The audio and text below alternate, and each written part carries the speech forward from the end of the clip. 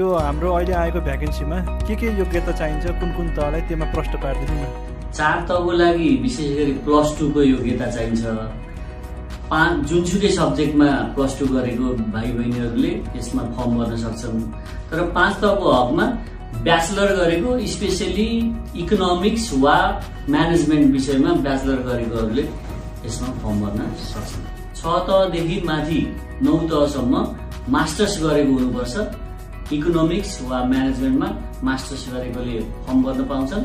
तर कतिपय भ्याकेन्सीहरू स्पेसली कृषिको लागि चार्ट एकाउन्टेन्टको लागि इन्जिनियरको लागि भ्याकेन्सी भएमा सम्बन्धित विषयमा मास्टर्स गरेको हुनुपर्छ। परीक्षा चाहिँ कसरी हुन्छ सर? यसको मोडालिटी के हुन्छ परीक्षाको? परीक्षाको मोडालिटी तिन तहबाट परीक्षा लिने गरे हुन्छ। एउटा प्रि टेस्ट हुन्छ एउटा रिटर्न टेस्ट हुन्छ र अर्को चाहिँ इन्टरभ्यू हुन्छ। नर्मली चार तहको लागि प्रि टेस्ट यी तिनवटै प्रि टेस्ट रिटर्न र इन्टरभ्यू हुन्छ भने पाँच छ सात आठ नौ तहको लागि रिटर्न टेस्ट र इन्टरभ्यूको व्यवस्था हुन्छ। अनि यो परीक्षामा सहभागी हुन सक्ने उम्मेदवारहरूको उमेरको विषयमा भन्नुहोस् न। चार र पाँच तहको लागि अठार वर्षदेखि पैँतिस वर्षसम्म पुरुषको हकमा महिला तथा अपाङ्गको हकमा चालिस वर्षसम्मकोले फर्म भर्न पाउँछन्।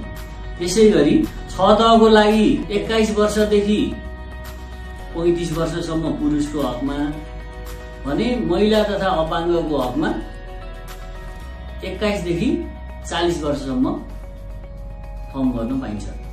त्यसै गरी सोभन्दा माथिल्लो तहमा एक्काइस वर्षदेखि चालिस वर्षसम्मको हरूले फर्म अनि परीक्षा रसिदको बारेमा भन्नुहोस् न। चार र पाँच तहको लागि पाँच सय रुपियाँ लाग्छ।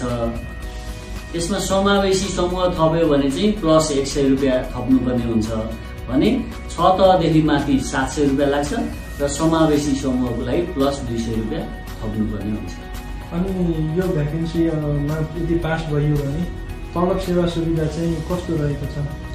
तलब सेवा सुविधा ब्याङ्कको ब्याङ्कको कर्मचारी विनियावली अनुसार तलब सुविधा पाइन्छ। अनि धेरैले कमेन्टमा सोर्स फोर्स र पहुँचको आधारमा हुन्छ होला भनेर भन्नुभएको छ। यो साँचो हो? यसमा कुनै पनि सोर्स फोर्स लाग्दैन। लोकसेवाको नियमअनुसार लोकसेवाले नै कम्प्लिटली जाँच लिन्छ र चाहिँ हामीलाई पोस्टिङ गराउँछ।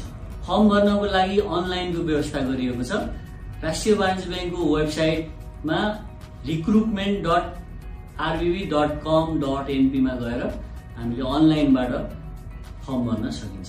यी प्रश्नहरू बाहेक अन्य कुनै दुविधा रहेमा हजुरहरूले ब्याङ्कको टेलिफोन नम्बर चार पच्चिस पच्चिस पन्चानब्बेको एक्सटेन्सन नम्बर पैँतिस अडचालिस र पैँतिस उनपचासमा फोन गरी सम्पर्क गरी हजुरले जानकारी लिन सक्नुहुनेछ।